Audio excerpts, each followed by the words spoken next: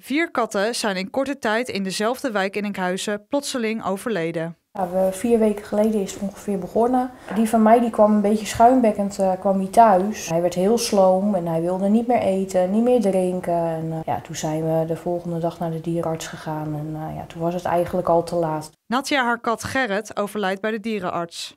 Later hoort ze dat er in de buurt nog meer katten zijn overleden. Ik kwam woensdagochtend kwam ik beneden om 7 uur en toen lag hij op de bank.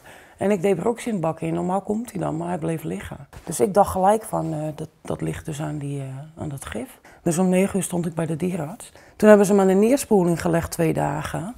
Maar dat heeft niet geholpen. De hele tijd kwijl ook, schuimbekken de hele tijd. En uh, op het laatst werd het zo benauwd.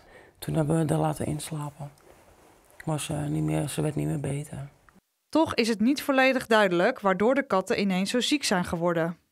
Ze zagen aan het bekkie van mijn kat, die was helemaal verbrand van binnen. Ze zegt, dit moet iets van chemicaliën zijn. De dierenarts die had het zelf over koelvloeistof. Er zit een soort van zoete geur of een zoete smaak aan. En ja, daar schijnen katten op af te komen en die vinden dat lekker. Wat zegt jullie gevoel? Denken jullie dat, het, ja, dat er ergens een auto koelvloeistof lekt? Of denk je dat iemand dit opzettelijk Nou, daar doet? hebben we wel naar gekeken. We zien niks ja. op de straat leggen met vlekken of zo. Dus ik denk dat misschien hebben iemand wel opgezocht hoe je een kat kan vergiftigen. En denken ze, oh, dat vinden ze lekker.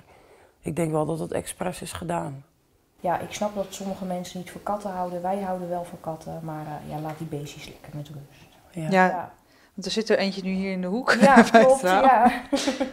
ja, die mag niet naar buiten. Nee. Nee, ze moeten nu binnen nee, blijven. Ze moeten binnen blijven, ja.